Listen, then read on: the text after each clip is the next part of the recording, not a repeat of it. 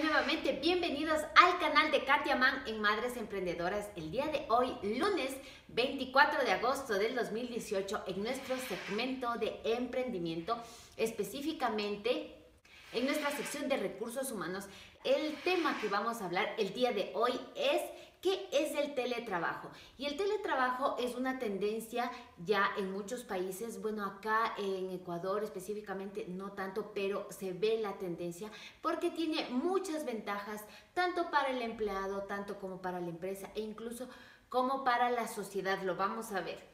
Y básicamente el teletrabajo consiste en que el empleado hace sus labores, hace su trabajo no en la oficina, en lugares diferentes a la oficina, sea en la casa, eh, si está transportándose de un lugar a otro, sea en un hotel o en el lugar donde esté, que no necesariamente es la oficina, y apoyándose de las tecnologías de la información y la comunicación. Vamos a ver unas cuantas ventajas eh, básicamente para el empleado y es que existe una flexibilidad horaria, existe la eliminación de los tiempos de desplazamiento, que cada vez es más caótico desplazarse, existe también un ahorro en los gastos de movilización, tiempo, y realmente que como madres emprendedoras es una buena opción porque nos daría la posibilidad de trabajar desde casa y pasar más tiempo con nuestra familia. Algunos beneficios para la empresa. Se ahorra todo el detalle de un lugar de trabajo físico para el empleado, temas de equipamiento como tal. Una de las características de este trabajo es que se maneja por objetivos. El trabajo es por objetivos.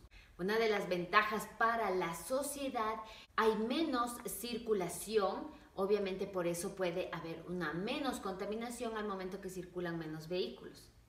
Entre las desventajas podría estar el sedentarismo, pues la persona ya no necesita desplazarse.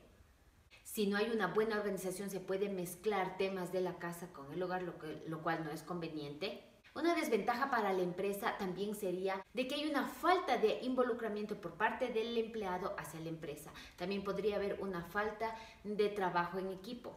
Y bueno, en general, como las recomendaciones, se debería generar una confianza por parte del empleado hacia la empresa para que pueda permitirle esta flexibilidad del, del teletrabajo. Tiene que haber muchísima disciplina, constancia. Y bueno, hasta aquí el video de hoy. Espero que les haya servido. ¿Quieren escuchar un poco más y saber más sobre el teletrabajo? Les invito a que escuchen el podcast de katiaman.com. Lo pueden escuchar en iBox y en iTunes. Y adicional, invitarles a que visiten katiaman.com donde próximamente encontrarán los cursos de emprendimiento, de ventas, de marketing y todo lo que necesitamos para ser unas madres emprendedoras exitosas. Así que les espero el próximo miércoles con otro video en este canal.